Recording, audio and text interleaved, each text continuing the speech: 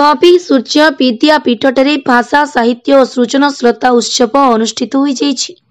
ପ୍ରଧାନ ଶିକ୍ଷକ ସୁନୀଲ କୁମାର ରଥଙ୍କ ସଭାପତିତ୍ୱରେ ଅନୁଷ୍ଠିତ ଉତ୍ସବରେ ମୁଖ୍ୟ ଅତିଥି ଭାବେ ଏନ୍ଏସି ଅଧ୍ୟକ୍ଷା ଏସ୍ ଲକ୍ଷ୍ମୀ ଯୋଗଦେଇ ଉତ୍ସବକୁ ଉଦ୍ଘାଟନ କରିଥିବା ବେଳେ ସମ୍ମାନିତ ଅତିଥି ଭାବେ ଉପାଧ୍ୟକ୍ଷ ବିକ୍ରାନ୍ତ କୁମାର ସାହୁ ବିଇଓ ଅଭିମନ୍ୟୁ ସାହୁ ବିଦ୍ୟାଳୟ ପରିଚାଳନା ସଭାପତି ପ୍ରବୀଣ କୁମାର ଦାସ ଏବିଇଓ ଲକ୍ଷ୍ମଣ ଜେନା ନକୁଳ ମଳିକ ଦୁର୍ଗା ପ୍ରସାଦ ତ୍ରିପାଠୀ ପ୍ରମୁଖ ଯୋଗଦେଇ କାର୍ଯ୍ୟକ୍ରମ ସମ୍ପର୍କରେ ମତବ୍ୟକ୍ତ କରିଥିଲେ।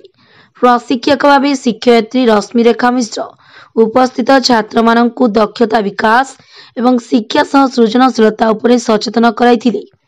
ଶେଷରେ ଛାତ୍ରମାନଙ୍କ ଦ୍ୱାରା ପ୍ରସ୍ତୁତ ଏକ ପୁସ୍ତକ ଅତିଥିମାନଙ୍କ ଦ୍ୱାରା ଉନ୍ମୋଚନ ହୋଇଥିଲା।